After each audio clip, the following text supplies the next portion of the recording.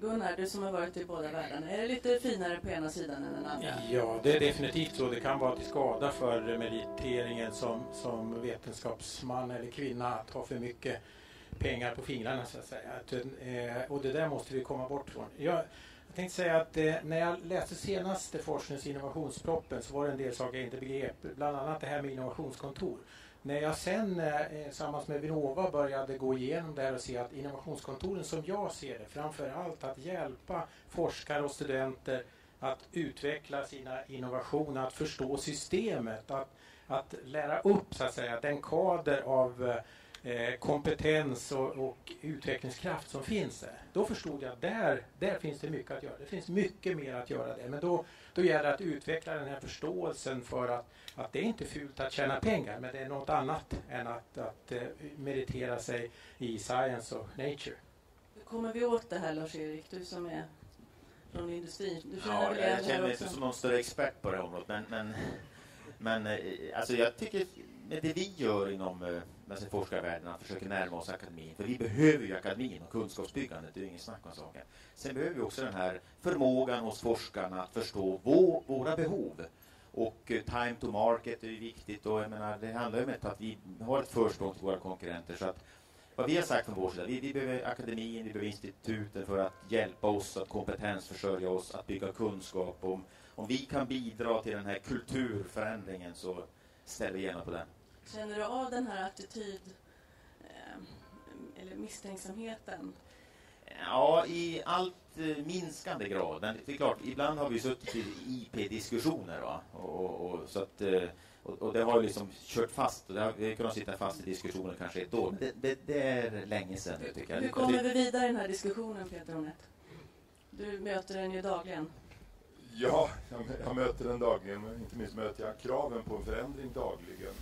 Alltså, låt, låt, mig säga hur jag inte tror att man förändrar. Jag tror inte att man förändrar det här genom så att säga nya statliga centrala regler. Utan det här är någonting som måste hanteras ganska långt ut i systemet. Jag vill inte vara fullt så pessimistisk. Jag, jag, jag, jag tillhörde ju ledningen för Lunds universitet i ett antal år och jag satt med vid många rektorsrekryteringar framför allt. Och där såg jag ju hur väldigt olika kulturerna också inom ett universitet om vi tar så att säga naturvetarna eller humanister eh, så, så, skulle det vara fullkomligt otänkbart för dem att värdera den här typen av bakgrund. Men jag satt också med vid många rekryteringar av professorer in, inom den tekniska högskolan i Lund och den medicinska fakulteten. Och där var det ganska ofta som man så att säga hittade vägar att värdera också den här typen av bakgrund. För det är väldigt viktigt inte minst för, för en professor inom ett tekniskt tillämpat område. Och det menade jag också att det fanns goda möjligheter att beakta och det gjorde man, kanske inte varje gång, men emellanåt trots allt. Så det går att göra detta. Så det handlar snarare om en kulturförändring också hos ledningarna för universiteten, åtminstone när det gäller de högsta tjänsterna som ändå beslutas av rektor. Så jag skulle vilja rikta den här uppmaningen till härvarande företrädare för universitetsledningarna. Man kan göra rätt mycket inom det här området.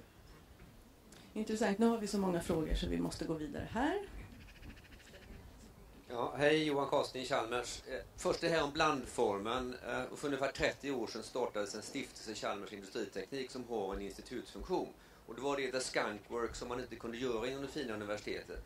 Idag är det en väldigt, väldigt bra uppskattad blandform av faktiskt universitetsaktiviteter, alltså handledning med personer som har fått industrierfarenhet och varit ute och skapat de här värdena. Eh, det är det gemensamma. Jag skulle gå in på det lite grann med samägd forskningsinfrastruktur som är tillämpbar både för akademisk forskning och utbildning och för det som är direkt industrinytta. Det exempel vi har just nu i Asta eh, som är en Active Safety Test Arena mellan fordonsindustrin som och Chalmers försöker dra igång som en gemensamt ägd infrastruktur där det inte är ett mål att vi ska äga den på jättelång sikt. Men någon måste starta, någon måste få igång det Och här tror jag att det finns en fantastisk samlingsmöjlighet omkring en viss typ av forskning som går långt in i djupt liggande eh, eh forskning som är både i humanistisk, samhällsvetenskaplig och rent teknisk forskning. Va? Lite resonemang omkring det gemensamma tror jag var ganska bra. Vi pratar mycket om tydlighet och skillnader men vi har faktiskt rätt stora gemensamma ytor. Tack. Vem vill... Ni vill bara hålla med, eller hur? Ja. Vill Lena säga någonting annat så går det bra. Nej, ja, nej, egentligen, ja, hålla med är ju dumt bara att göra. Men, men jag bara ändå vill förstärka det Johan säger för att forskningsinfrastruktur både för akademin och för industrin inberäknat och instituten, det kommer att vara fullständigt avgörande för landets överlevnad. Eh, och där tror jag nödvändigheten av samägande på något sätt att man bidrar med resurser gemensamt, både kompetens och faktiskt pengar, om vi ska klara oss internationellt.